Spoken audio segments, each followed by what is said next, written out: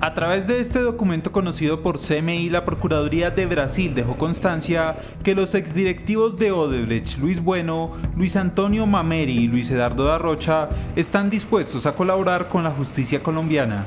Todos los testigos reafirman estarán listos y aptos para prestar sus testimonios. Las autoridades de Brasil también señalan que ayer los tres exdirectivos estaban preparados para declarar en el juicio del expresidente de Corfi colombiana José Elías Melo. Incluso señalan que las autoridades colombianas no han dado ninguna explicación sobre el aplazamiento.